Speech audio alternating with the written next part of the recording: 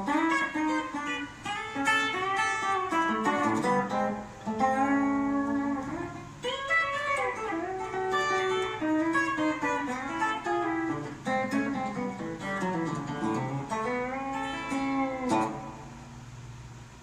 up? I guess we are on number six, lesson number six, beginner video. Last time we were doing some uh, the number system in the key of C. And um, just to really recap I don't want to. I'm not going to do this every lesson because I'm going to forget what the heck we did. Well, not really. It's kind of a system I have, but key of C, key of G scales. We got the caged chords, the the three basic minor shapes, the E, A, and D minor. Got your digital patterns. Last time we went over the number system in the key of C. So if you don't know that, go back to lesson five. Uh, today we're going to do the same thing. We're going to add the four note chords. Um, when I was going over that number system, I was saying you take the C scale, you start on each note of the scale, C, D, E, F, G, A, B, C, and you take the first, third, and fifth, and you get a chord. Then you start on the D with that same scale, take the first, third, and fifth of that, you get the D minor chord. Then you start on E, first, third, and fifth, you get E minor, F, you get the first, third, and fifth, F major, then G major, then A minor, then B diminished, which I told you to avoid. This one I'm not going to tell you to avoid. We're going to do the four note chords. Instead of taking just the one, three, and five, we are going to take the one, three, five, and seven. And we're going to get the jazzy sounding chords now. Um, so for the C, well, I'm just going to rip right through them. So for this, this is, you know, let me, let me sit in a more appropriate manner. So hopefully you can see my fingers. Uh, this is your C chord. Get rid of the index finger. That's your C major 7. What we're doing is we're adding a B to that chord. It used to be C, E, G. Now it's C, E, G, B. You can repeat any notes you want, but the notes of the chord is C, E, G, B. D minor was here. It was going to be a little tricky. This is going to be similar to that new F chord we did the last lesson. So instead of the open fourth, second fret on the third string, then you got the D, second string, third fret, first string, first fret, we're going to get two with the index finger. We're going to get rid of that D note we had, and we're going to end up with this. We're going to end up with the shape of the chord. It's going to be open, two, one, one. The notes are D, A, C, F. That's a tricky one, because you're getting two with this finger again, just like we were doing with the F chord. So this is D minor. This is D minor 7. We're just simply adding a C note to the chord. Before, we had two Ds. Alright, next is E minor 7. This one's easy. Take your E minor chord, get rid of the ring finger. We're going to play the fourth string open. So the shape of the E minor chord before was all six strings open, two, two, open, open, open. The notes were E, B, E, G, B, E. Now we're going to add that open fourth string. So it's only one finger now. Fifth string, second fret. That's your E minor 7. F major 7, you're going to thank me for this one. The F chord was this. Top four strings. Three, two, one, one. Two with that finger, right? Now we're going to play the first string open. We're adding an E to that chord. 7. G, you had had this before, right? All six strings. We're to have to rework our fingering for this. It's to be the same exact chord it was, but instead of that third fret on the first string, we're to play it on the first fret. Unfortunately, this chair is rolling me around my garage. We're to be on the first fret now. So in, in these, if I was to play those in sequence, G to G7, I would play the G like this pinky and then the index finger. I wouldn't go like this. Too much work. So the shape of this chord, this is all six strings starting from the bottom. Three, two, open, open, open, one. G, B, D, G, B, F. So we added an F to this chord to make it a seven.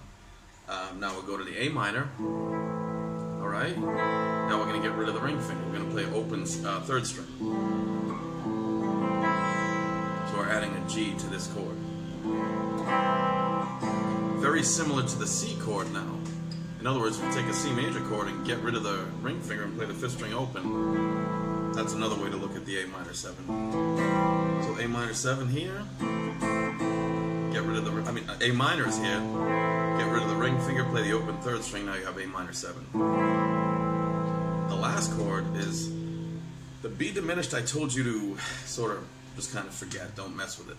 This chord, your the average person isn't going to use it much, but in blues, jazz, funk, it's rampant. Latin music, it's big.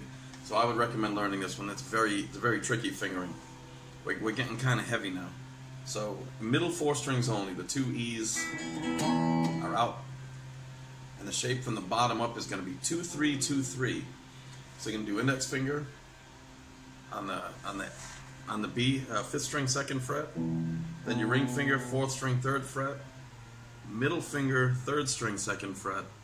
And your pinky on the second string, third fret. This is a very tricky fingering. So middle four strings, two, three, two, three.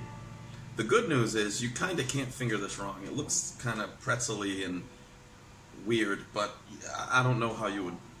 You you can't really get it wrong. You know what I mean? You, if you put your second finger down there, you can't get your other fingers in place. So it's just like this. Now this one I would spend some time on because it's a, it's a great exercise. I would take my fingers off it and put it back. Just get used to that. You're gonna forget it. You're gonna forget it like a million times before you remember it. Two, three, two, three.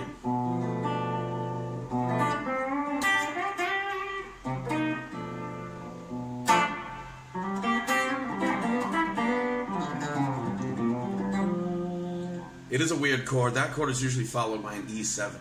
No, I'm not getting into it. All right. So you've got your seven seventh chords, your four note chords. These are your jazzy chords. Not only jazzy, but um, if we take, let's take that one six two five we did the last lesson, and we're going to use these new chords. You can you can apply this to all the other chord progressions. Now, the some of them are going to sound a little strange with these chords, like the one five six four I mean, they'll still sound fine, but sometimes it's just more appropriate to play those triads. You know, if you're playing a Peter Paul and Mary song or a Bob Dylan song, most of those are going to be triads, like Knocking on Heaven's Door, stuff like that. Um, most pop songs are going to popular stuff. Uh, it's going to be very triad heavy. Um, so let's go with a one six two five with these new chords. So the one six two five. First of all, let's get the triads out of the way. We did this before. It's going to be C. C major is the one. Six is A minor. The two is D minor. The five is G major. Now that we add those sevenths, it's going to be C major seven, A minor seven, D minor seven, G seven. That's the one six two five in the key of C. So we're going to use these new seventh chords. We have C major seven to A minor seven, D minor seven to G7. You can do that two beats each. Oops. One, two, three, four. A minor seven. D minor seven is the two. Then that G7. Um, if these sound a little strange, it's, it's again because they're more colorful, they're more jazzy. Now, one way you can look at one benefit to these is there's a lot of ways to get more mileage out of a chord. Most of these, with the exception of like the B minor 7 flat 5, which is a very strange chord. And um, you know, we can kind of skip that for now. It won't come in, it won't be useful for a little while. Um, like the C chord, you're gonna, if you remember that C major scale we did,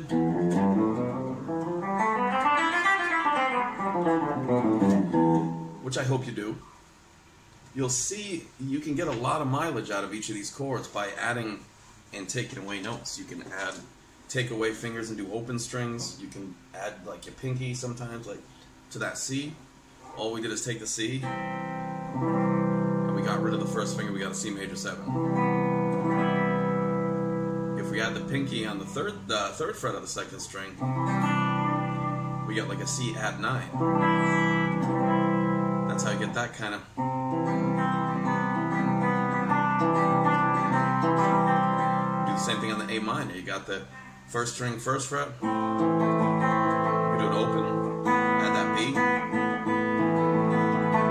Don't worry about this stuff. Um, but you can add the pinky on the third fret, just like we did for the C. Then back to that first fret to the straight A minor.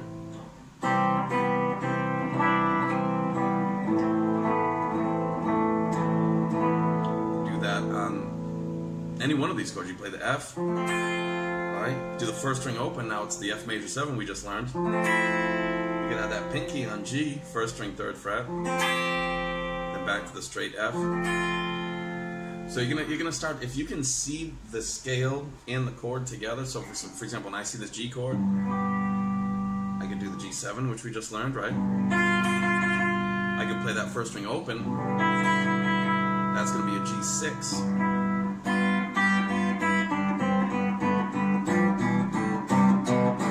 The notes in the scale that we did.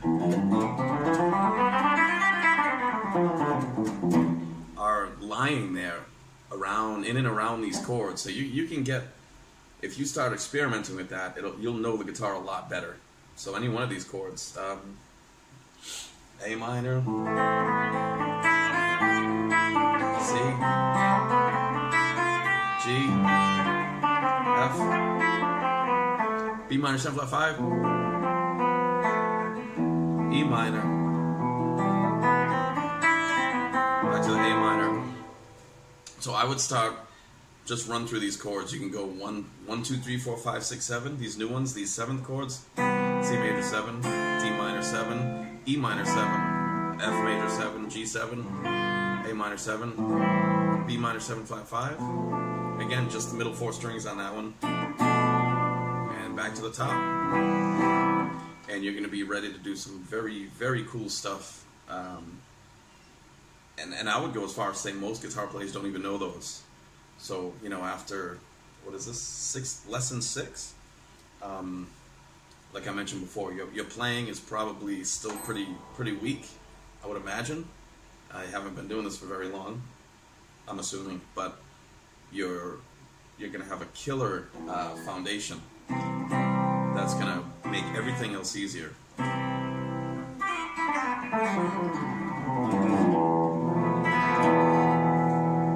And uh, regarding things to come, we're going to get into strumming. So get used to switching those chords. That's the most important thing you'll ever do on the instrument. I don't care if you play another 50 years, another 100 years. The most important you can do, important thing you'll ever do on this instrument is being able to switch from chord to chord in time with, with good rhythm. Um, so, so a couple of things we're going to get into next in the upcoming lessons are going to be strumming. Um, we're going to get into more like riff-oriented things. What I mean by riff is stuff like uh, like a lot of rock tune, like power chords, and like um, God, so many. Like Walk This Way.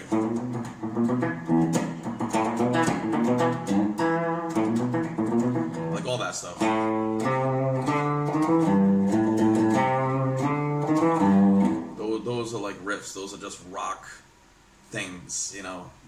They're, they're not chords, you know. They're just like I started that stuff with Kiss, you know.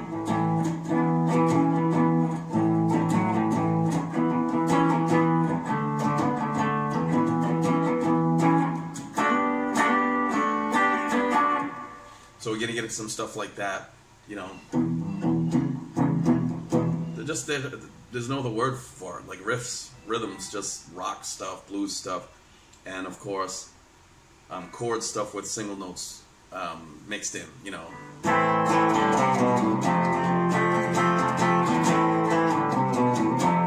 Stuff like that, or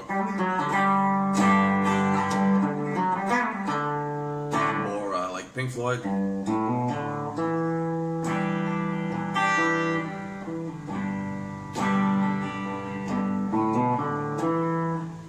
Chord stuff with single notes in there. That's going to be very important. And what I was playing earlier was a Kansas tune, right? Dust in the Wind.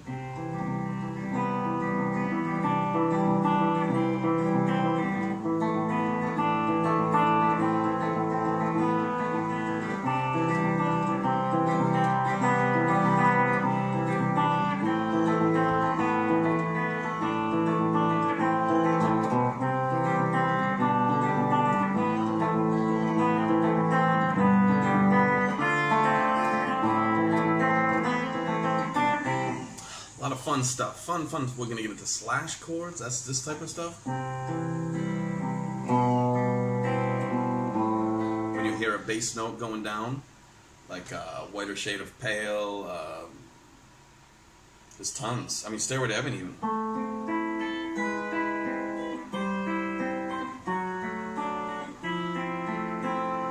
That's got that. Um, time in a bottle.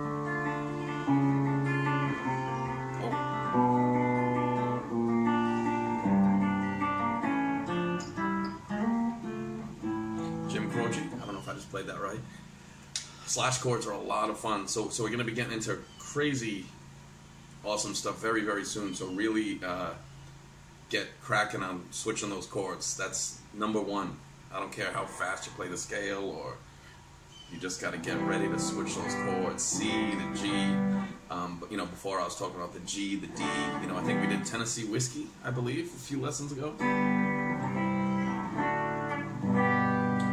What I might do is I might just do a lesson. I might just kind of throw together like ten songs. There's thousands, thousands of songs you can already play with just those chords we've done.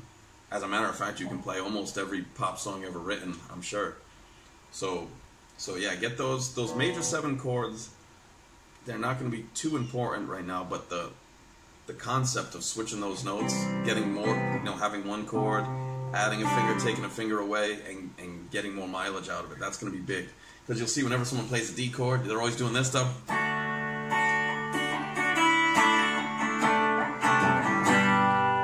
Um, they're always doing this.